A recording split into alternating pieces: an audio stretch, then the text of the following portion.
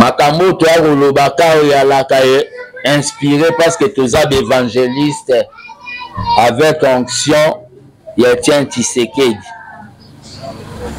lelo na messe patriotique na biso ya armée de batise tisekediste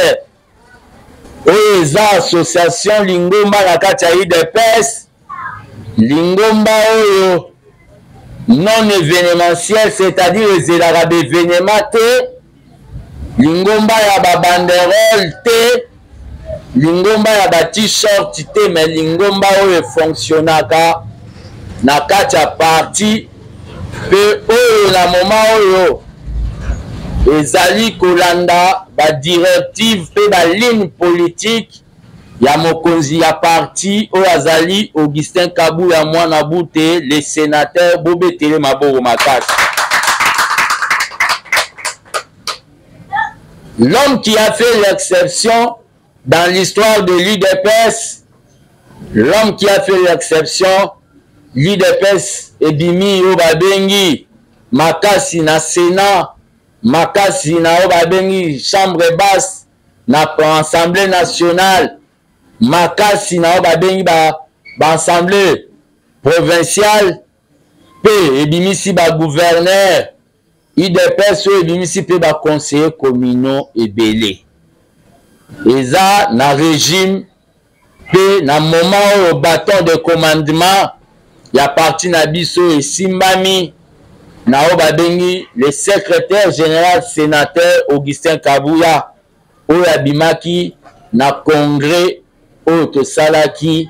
mpo na koconfirme ke mokonzi ya mboka aza kandida na biso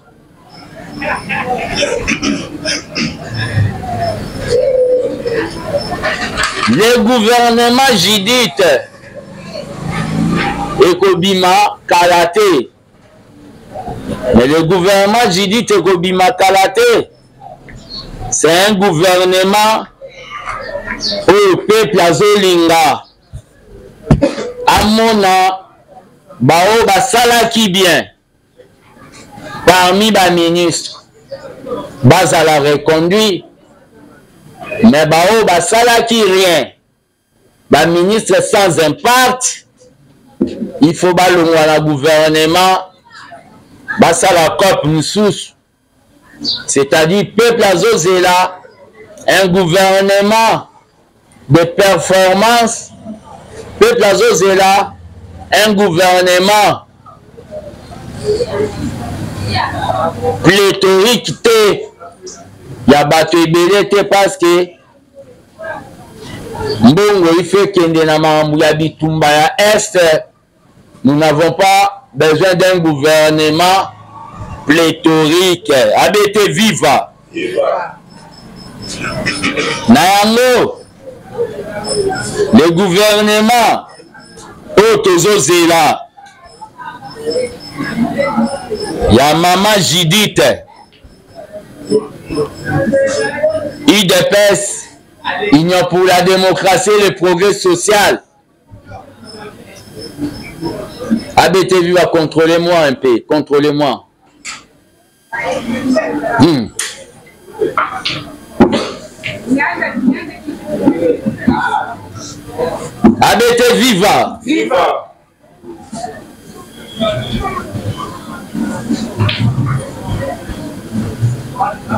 le gouvernement autorisé là après confrontation de tous les tableaux des regroupements politiques qui sont qui ont plus de députés nationaux Après la publication des résultats définitifs de la Cour constitutionnelle, quand le gouvernement est Sala, il y a 50 ministres. IDPS, sauf imprévu, il fait Zalana 10 ministres.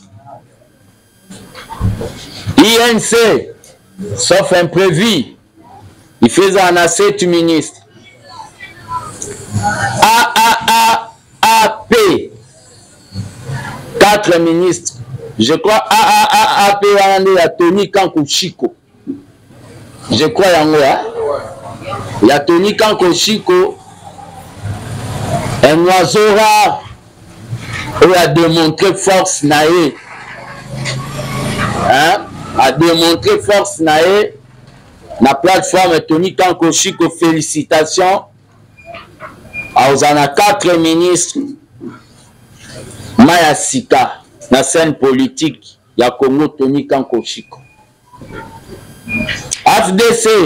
ya professeur modeste bahati trois ministres mlc ya jean pierre ya président jean pierre mbemba gombo trois ministres selon ndenge bestimation ezosala na minite oyo guvernema oyo ekobima peuple azozela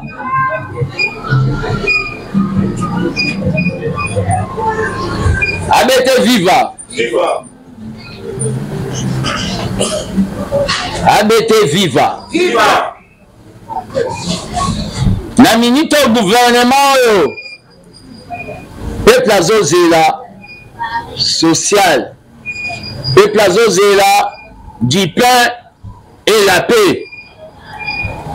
eza gouvernement ya travail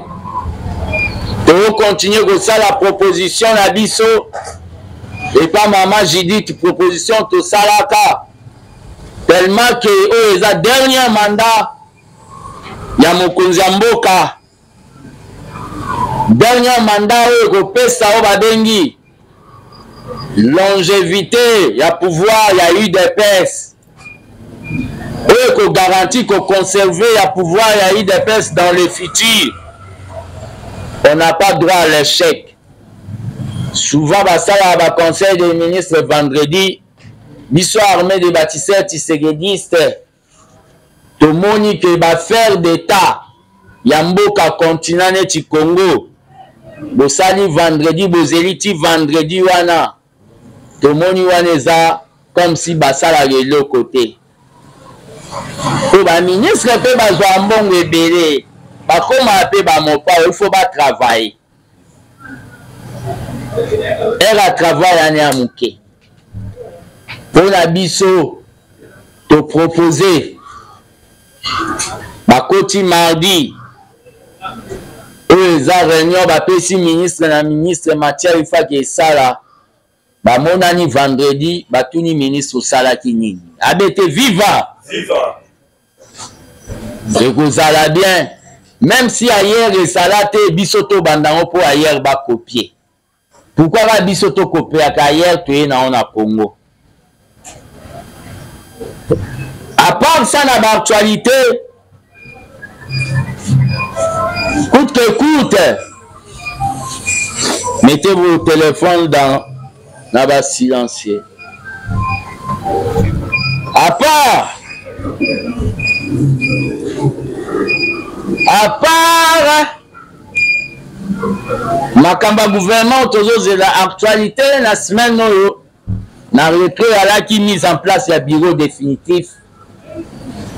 mise en place ya bureau définitif eh, ya assemblée nationale mwana mboka vital kamere oyo deja na kati ya union sacrée azalaki tike gagnant na présidence ya assemblée abimaki na 371 voix sur 407 mpe bato misusu baalaki wana tellement vital kamere alaki candidat unique babulletin 1000 ezalaki 36 wana mpo na oyo babengi mwana mboka vital kamere biso awa na abete tosutenaki ye tosutenaki ye tolobaki ke l'homme qu'il faut à la place qu'il faut kote oyo batiaki ye na ekonomi wana epermetaki ye te tant que joueur politique abeta bien bilane na ekonomi ata aza vie na nga nalobaki bilan en economie eza vraiment zero ti jungu libungu tolu verite eza bokabwani te ba bilan vraiment kote wana mwalium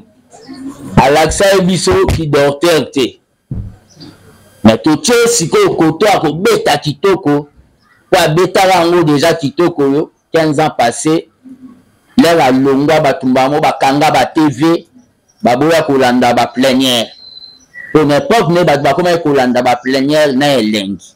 bobetela vital camere maboko s'il vous plaît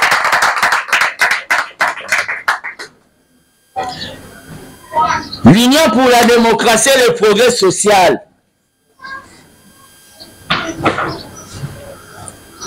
epesaki candidat nango na deuxième na premier vice président un oiseau rare mais c'est un professeur d'université. Honorable Isaac Jean-Claude Chilumbaï. Honorable Isaac Jean-Claude Chilumbaï azwaki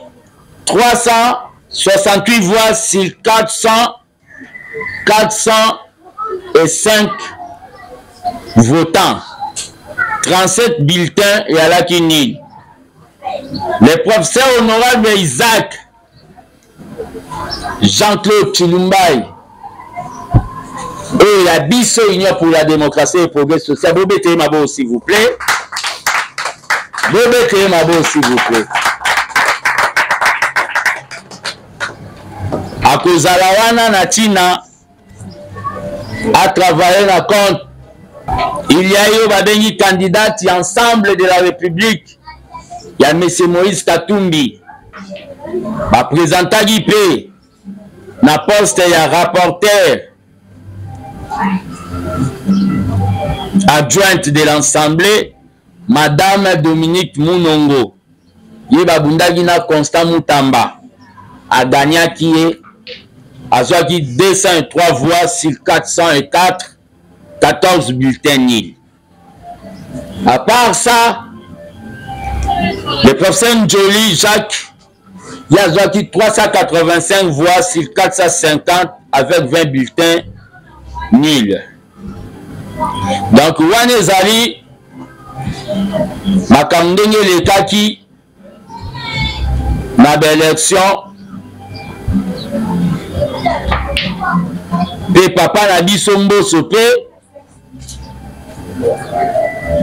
abimaki deuxième vice-président ya assemblée nationale pepe mboso donc papa na biso mboso mpe abimaki pepe mboso abimaki na 379 voix na baélection bon na village malgré toloba ete age nekoli esengaka mpe bajeune bazala mpe na bavie lokola pepe mboso amonaki aza nao na bopikiliki akosala wana abete viva biro ya ensemble tozozela bango bakoka koaplike balwa oyo nyonso bavotango bakomisango neti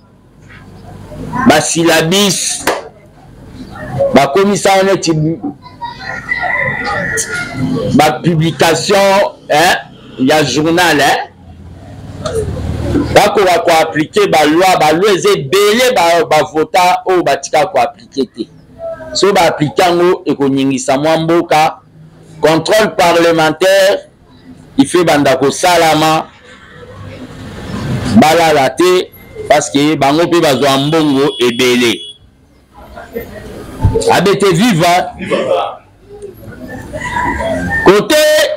province ville de kinshasa le gouverneur élu de la ville province de kinshasa le gouverneur élu de la ville province de kinshasa Daniel Bumba Lubaki akutanaki na IGF. Kokutana na elombe mobali Gilles Alingeti akei bato ebele baevita yango mpo bayebi ke Gilles Alingeti akei c'est un homme comme ça mais ye akutani na ye avant abanda mosala Mais soki na abi na devine abete viva. Viva. Kokutana na Jila Ingeta ke eza mpo ayebisa ye mpe asenga ye audite ville ya Kinshasa avant ya banda mosala audite bambongo ya bawenze audite bambongo ya batestation de naissance batestation ya mariage nabandi na se aodite bambongo ya bawenze gambela zandu liberte wenza matete wenza ngaba aodite makambo ya kini bopeto aodite mpe makambo ya construction yayo babengi zando ya sika yango nde abengi ye bobetela daniel bumba maboko s'il vous plaît makambo abongo nde zila lingeta alingaka donc oh, mais à part ça avant kota en fonction daniel bumba lubaki abandi deya bacontact na cadre ayeba ndenge nini akosala lelo guvernema ezolingedi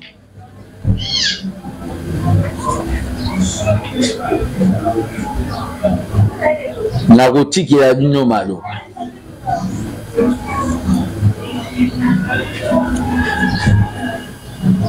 toyoki gaa na top congo excusez toyoki déjà na radio mot de la place il y aura des personnalités de d'autres regroupements biso toana besoin l'homme qu'il faut à la place qu'il faut toza na besoin ya batechnocrate toza na besoin ya bato to baoya babanda oyebisa mama judith ke ngai na leader ngai naa na 32 naa na autant de député toza na besoin ya bato baotravaille tozoyebisa mpe na bato tu oyo bazolanda biso na moma oyo ça ne sert à rien na réseaux sociaux bobanda kosala bavideo ke oyo akozala te oyo akozala te kolakela ministre moko akozala te mpo akabelaki yo te me yebaki akabela ye mpe motu mosusu abete viva mediocrite donc tozomona na réseau sociaux bato mosusu baoyo baministre tel akozala te baobimisa na bafoto wana eza motema mabe ministre soki asalaki bien te mokonzi ya mboka nde akodeside ça ne sert à rien biso tobanda tomona to bato mosusu balobake biso mpo na biso tomoni tel na tel basalaki bien il faut bazala wana ya badeklaration moko neti abana mike na minute oyo eza na foto ezosirkile fils moko nome ministre na réseau sociaux ministre ya finance finance awa nasala yango na butu to wapi parce que ministre ya finance esenga ozala qualifie ozala financier mingi mpe bauta ba banque mondiale nde bayaka asalaka soba wapi ngai kona saba option peda, pédagogique boyaki etyanga ministre ya finance eske nakoyeba bawada wana banini bato batravaille vruma foto batie na cache vruma bazwi foto na ngai nalati costume merci beaucoup eza baprophétie nakokomaka ministre so mpe nakomi ministre te nde kaka faci akomaka ministre te akoma mbala moko président nakokoma mbala moko président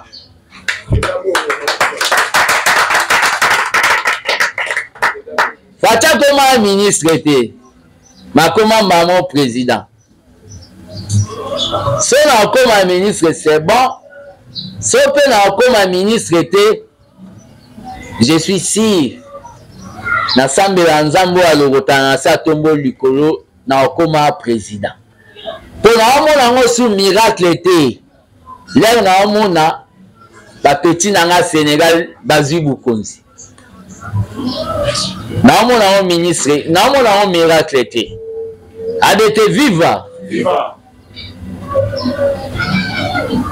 fils ngo ministre ya finance na remplace vieux nanga nicolas kazadi ah on ne change pas l'équipe qui gagne nalobi boye actualité politique avant napesa bino maloba par rapport bozozela nini na gouvernement tozo interpele basoda na biso toyebi te basoda na biso soki baa baartiste musicien oyo balingaka mingi kamera visibilité bozosala baopération militaire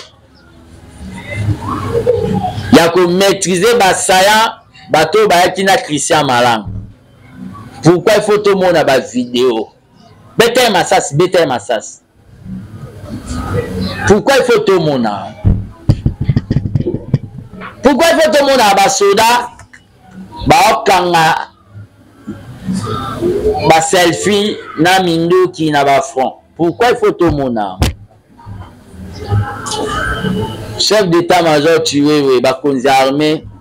bodiscipline nanu mwa makambo wana guerre yango ekomi nango maseki toni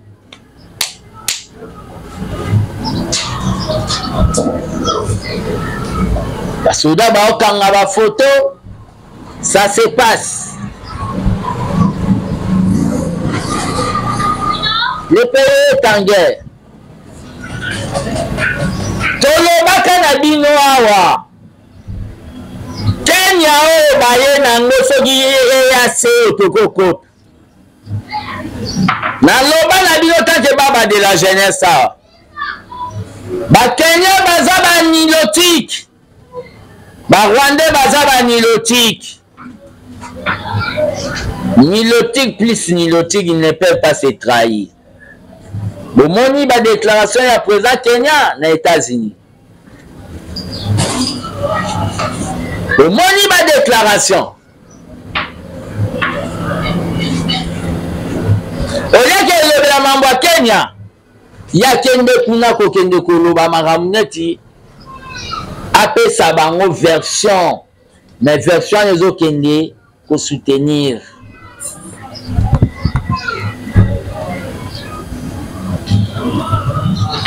bato bazomona ye toyesaka maseki na mboka oyo bato baoyeba te ke makambo oyo bakristian malanga basali nous devons prendre ça au sérieux parce que na komona bareunion akota na baisraele bareunion akota ya koforme bato deja mutu so azomema 30 personnes mpo bakeforme bango ba antitero tokominimize ye te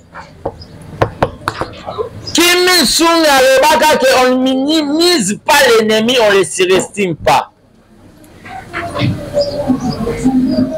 makambo oyo esalamaki awa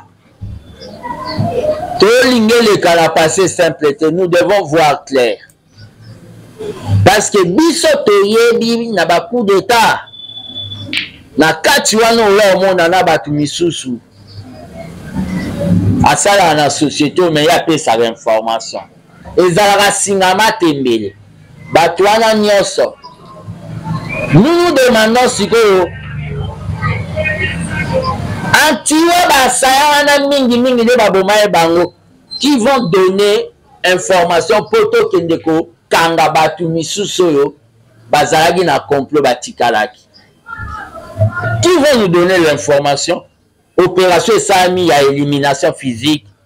ya bande nyonso ya christian on pouvait tue christian mais bato misusu wana on les avait déjà neutralisés nous nous avons besoin des informations abete viva, viva. parce que bato ebele bazo reve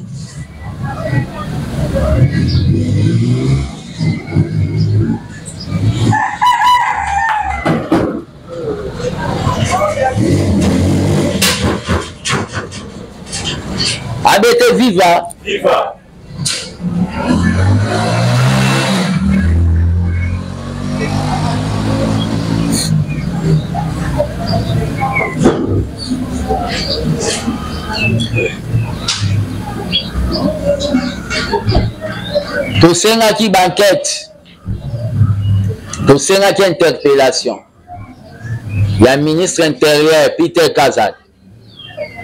aza ya biso udps il faut apesa biso baexplication vital camere il faut benga bango na ensemble bapesa biso baexplication jean pierre mbemba il faut aleka explike biso aza ministre ya défense bato ya dgm na aner bato wana il faut bakweya baresponsable wana bango ifo bakweya eza parmi ba première décision ya gouvernement ya mama judith so eza bo bobeti mabosi makambo tozoloba oyo mwana wana américain wana mwana christian malanga wana ifake ekanya makasi akende produire na mais masango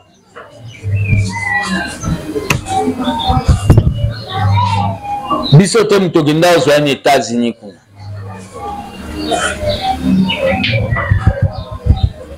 tosenga vigilance ezala na bacombattant banguna basili te banguna basili te me na moma oyo il faut tozala vigilant il y a d'autres membres ya cabinet ya président neti bachef du camp batabu le même jour ya coup d'état ye na pullman mesa tout champagne champagne koloue deya pullman soirée feti so ya anniversaire soki ya soki ni kofi olomide kodeplace na simi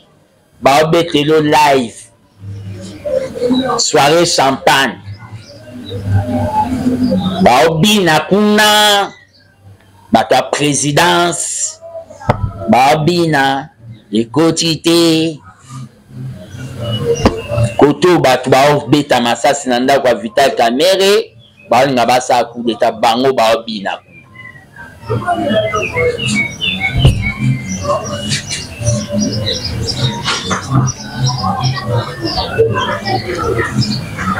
po bamona bato bazo entoure mokonzi ya mboka ce sont vraiment des tintin oyo naloba so naliaki epai ya bango bapasola sani ya ketchup depuis mobutu na mesala na matembele na thomson piodi nalela kutu kota partia mutu na minute oyo nakochange régime te nakóma na batilapia nasala beaucoup d'année kaka na mpiodi thomson oyo sewa mobutu tobanda obenga yo la mer poisson de mer les entrées de danser na mitunaka ezalaka mvutuma nde esalaka bato ya bapresidence wana bamifilmaka le baosala bafeti na bango ya babonane ya chaque jour mpo batya yango na réseau sociaux balinga bamelisa biso soi sikoyo mutu toboyi te topimela mutu droit ya kofete mais il faut kaka ozo comprendre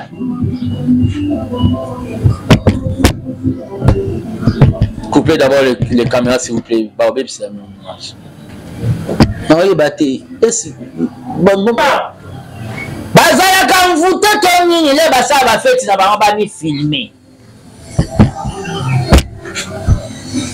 mesa na mesa champagne champagne au moment peuple aza a besoin ata amela ya malili akoki te lelo peuple akoma na zordon mpo akoki te aza na besoin amela ata mwa eloko akosomba pa meme molangi moko ya biere lelo peuple akoma omela bololo cwa me peuple aomona sikoyo azomona bato moko bapemi na feti la fête du champagne membre ya présidence de la république le bomona bosama mba bongo bokanisa nini image nini bovandre ya régime image nini bovandre batabu bino image nini mpe le chef du camp du président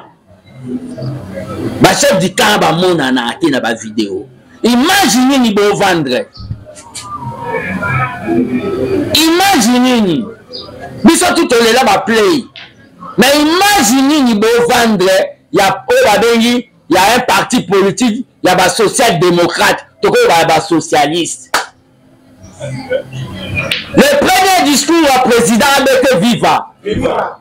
A dit nous allons au pouvoir pour servir les peuples. Est-ce que vous, vous êtes au pouvoir na pembeni ya mokonzi ya mboka pour servir les peuples ou bien se servir bosi bobimisa oyo babengi slogan moko boye so okoti kanga porte kokabela bakombate mpo na bino ekoma mpasi bomona so bokabeli bakombata so bamema mbongo ya bato etravaye bino mpo bolongwa na président de la république bino tu bokabaka te bato bwala na président de la république bokabela bakombatan te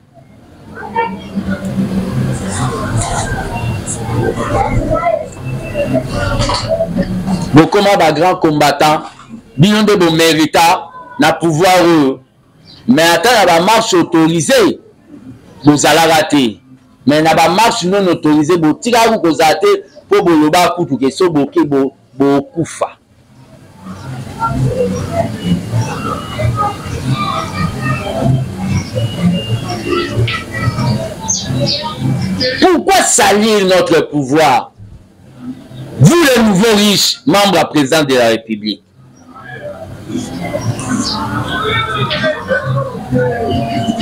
Parti oyo esali mokonzi akoma mokonzi ya mboka bolinga yango te bolinga pana milidepes bolinga biso te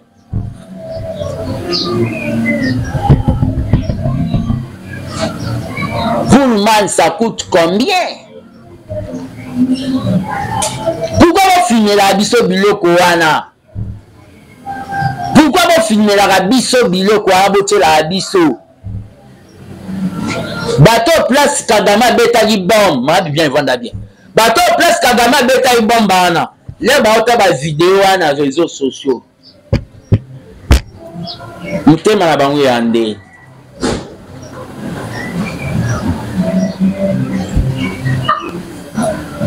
Nous implorons na mokonzi ya mboka un peu de rigueur.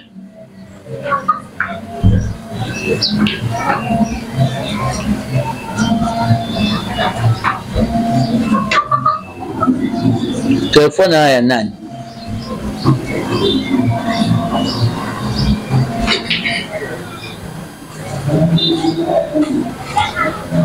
Dans un pays en guerre, il y a crise. Un chef du camp du président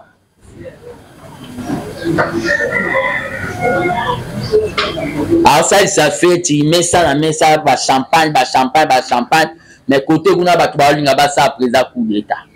e eh!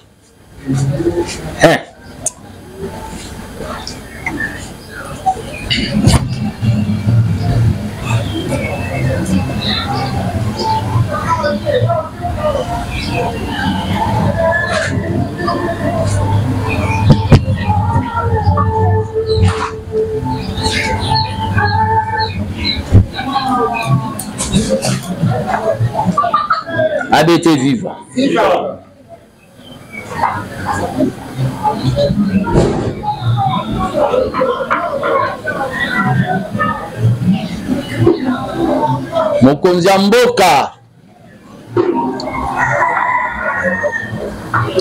mokonzi ya mboka bato mosusu baoloba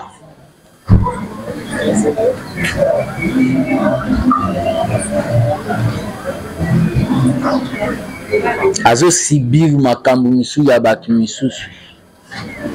bamemi bacomportement na bango mokonzi ya mboka asubir makambo misusu ya bacomportement ya bato misusu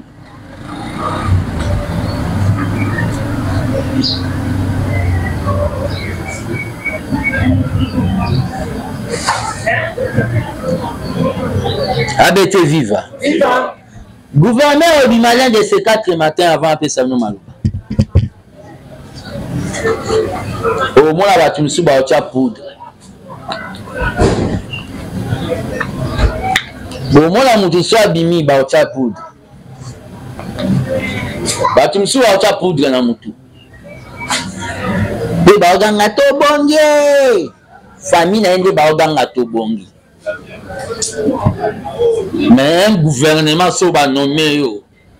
il faut oyeba ke omemi charge tisekedi alobaki ke être responsable c'est une charge et non un privilège bamisusu baotya poudre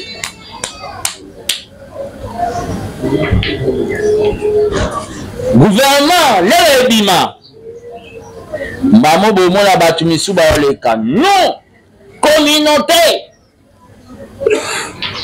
ya x nous sommes derrière mais c'est tel boleka nu communauté ya ministre x aza ata na wese na mboka ya bino te aza ata na wese na mboka na bino te kala te toyoka nous communauté nous les amis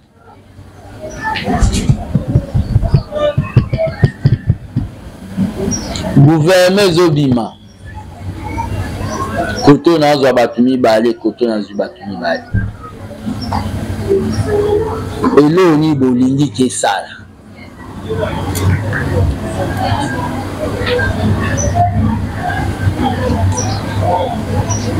na makambo ya courant na makambo ya mai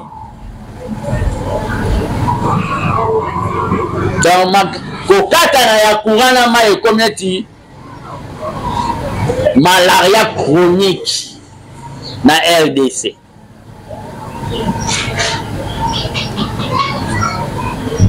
kokatana ya courant na mai ekomi neti maladi mo chronique bozela nini guvernema esala kote oyo criminel bacomplice na rébellion bato to bamenance sûreté de l'état les détourneurs doivent passer na condamnation à mort là le congo va changer so moto ayebi ke nayibi mbongo ya leta bakokondane nga mort moto aoyiba te abete viva viva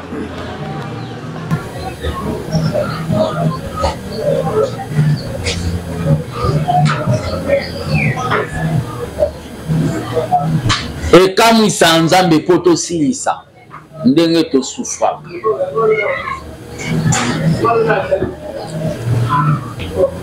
le biso bakongole tosambela nzambe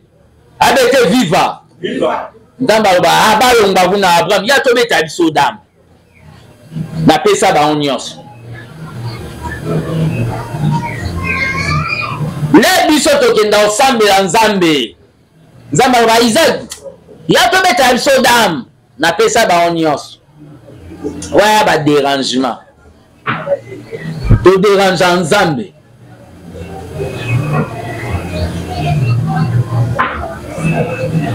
me bato oyo tu bayiba mbongo ya peuple congolais baokota lola te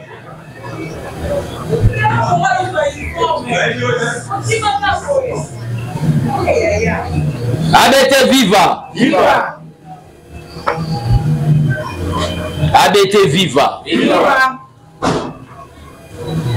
moto azoyiba mbongo 400 million de dollar aye nao mpe na ndako na ye 400 million de dollar estce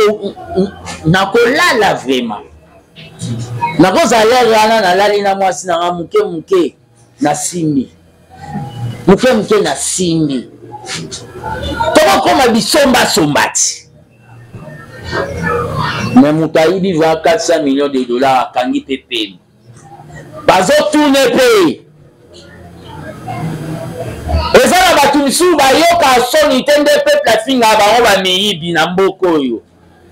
meme devant bana na ye donc yo ndenge osalaka na peuple afinga ko moyibi bana no mpe bayoka yango bana no mpe bayokaka ke papa bafingake moyibi naobeta kara azoluka mpe kaka baposte mpo ayiba kaka donc yo okolisa bana kaka na moyibi te bolinga bose permettre te su bozwa su bana na bino abomema bango na pouvoir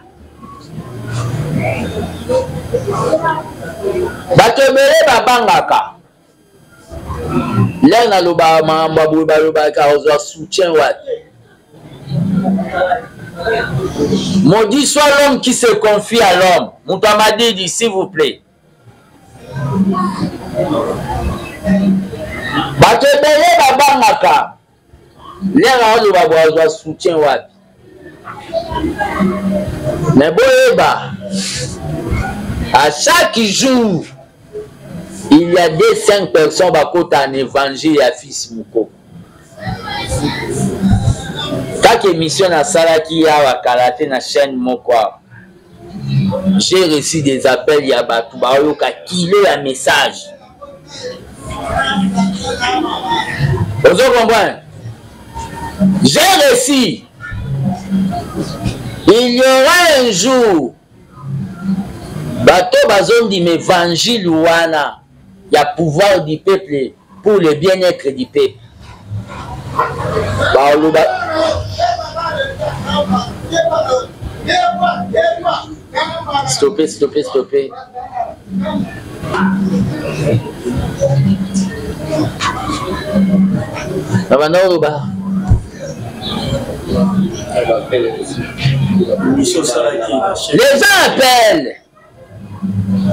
les jours que les gens qui acceptent une vision politique nangai ils seront des milliers ils vont commencer à soutenir sachez que la révolution est banne parce que bato mosusu bayokelaka nga mawa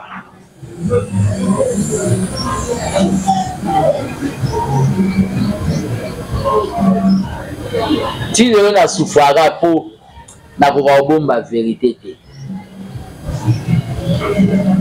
le jour que je mettrai de l'eau dans le vin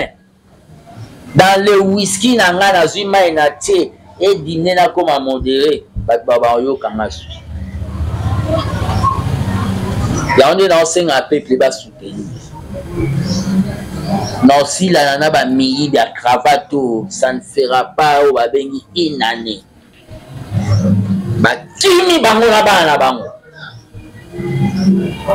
ça sera oyo babengi une révolution populaire contre tous les miyibi bato baza lere baotangisa comptabilité comme si après baprofesseur d'université bakoyebisa koma vole bapesaki seminaire moko ya koma vole bamizipi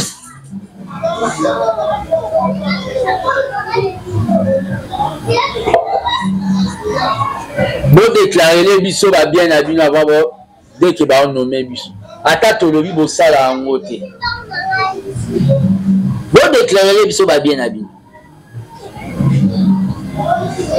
eza moto mosusu nde aza na ye mwa ayebi ke asala ne bien te ye mwa ayebi ke asala te tozela gouvernement social social mpe kosala oyo abengi mobilisation ya énergie mpo na kosisa guerre ya est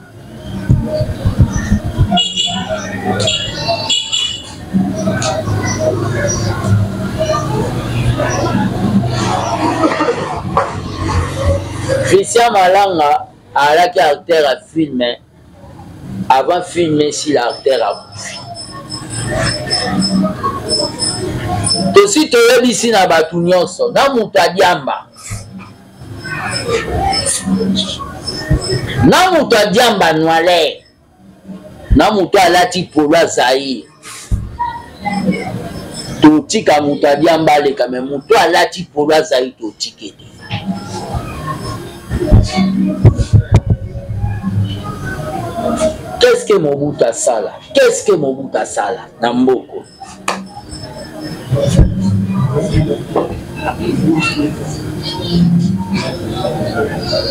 yango nde naoloba boye to tenir bon normalement le pouvoir de l'idps c'est notre pouvoir ngai naloba moto akolongola national aza te mpo moto anomanga akufa loba alamuka alongolanga c'est notre pouvoir toa na confiance totale na secrétaire général na biso tozosambela na liste ya idps ya mbala oyo ezala baministre ya idps 10 ministère c'est beaucoup na 10 ministère so baministre yango barespecte maloba secrétaire général na biso augustin kabula même 1000 combattants même 5000 combattants bakozwa misala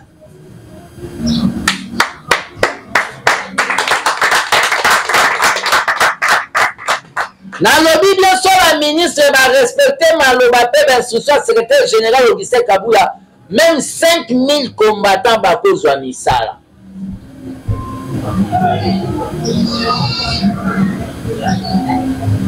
toboyi tomona baministre oyo lere akomi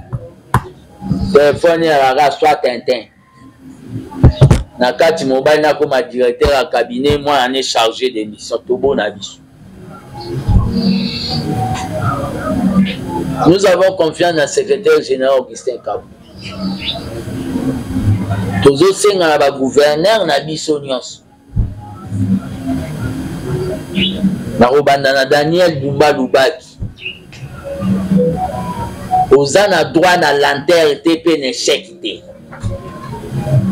nakobanda na okatanga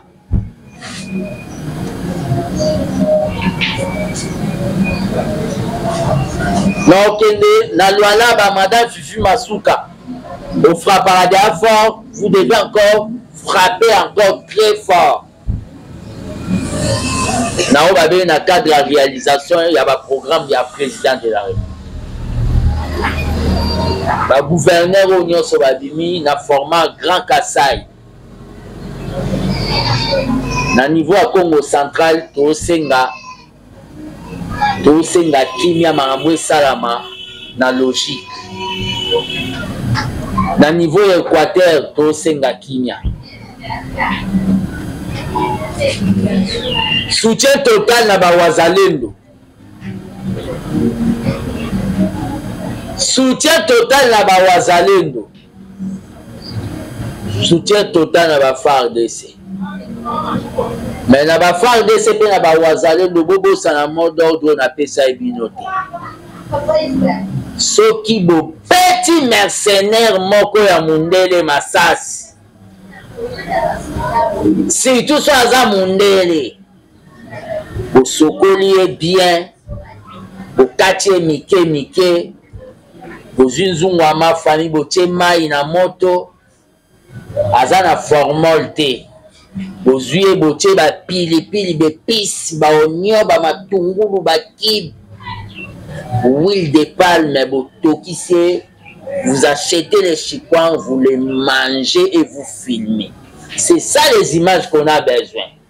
tobalansele bango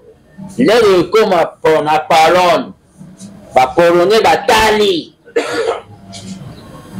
bakotya guvernema bango pression ezongisa bana na bango ekoteya bango abete viva, viva.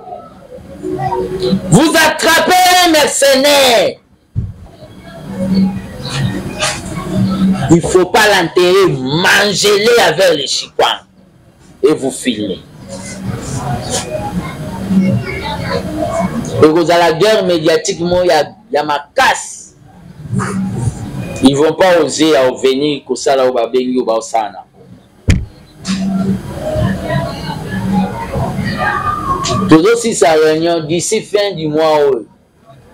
début juin comité ya abt ezobi mpe na fin du mois oyo tozo relance banque du progrès social eza 5 dollars makambo mosusu nasalaka nasalaka yango kaka na compte netika ya banque du progrès social il y a des gens baa na badifficulté tokotanga badifficulté te so namoni bango ti baoya oyo ezaka par amour association si on avait quelque chose na kati ya banque du progrès social tokoka kodebloke tosunga bango il y a des gens bazali awa en attendant tosambela baministre oyo baobima toyeba ndenge nini topesi bango bonne chance soki obimi sava soki mpo obimi te Osalaki da carrière. Mais totika koloba ke tel akobima te tel ifa abima ozoloba wana abima mpo akabelako me mosusu mpo oloba abima te mpo akabelake ozoloba oyo abima te mpo akabela yo nanu te bakabela mpe bamisusu totika mama judith apona ye moko banani akotravaye na bango abete viva viva totelemi toyei